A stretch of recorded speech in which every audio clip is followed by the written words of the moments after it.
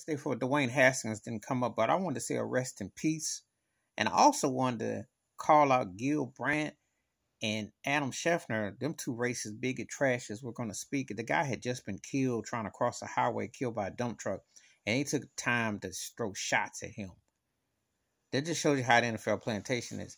This young man was only 24, about to turn 25, backup quarterback for Pittsburgh, and I do believe, I know he was going to be at least second string. He was battling Mitchell Trubisky, and he was better than Rudolph. So I knew. Didn't really get a chance to shine in Washington when he came out of Ohio State. He was something else in Ohio State. I'm a Michigan Wolverines fan, so it's tough. But I remember how good Dwayne Haskins was. I remember what the potential.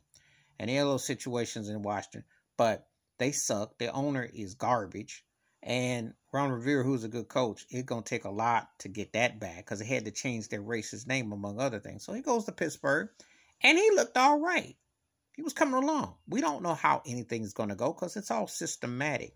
No quarterback comes into the NFL and just jumps off and looks great. So you just don't know. But anyway, these biggets come out of the woodwork taking shots at him as opposed to mourning the loss. Let his family heal, let his friends heal. He didn't ask for all that.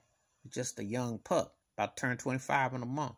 So, you know, my condolences and thoughts. However, these sideline haters, they can go kick rocks. Gil Brandt and Adam Schefter, they can go kick some rocks. Need to mourn and put some respect by Dwayne Haskins' name. Young man killed and died way too soon. Please hit like, subscribe, welcome thoughts and comments. And I do respond, thank you. Wash your hands, keep your mind clear, watch out for another, and take no time for granted because one never knows. Every day is a gift, every moment is precious. I'm out.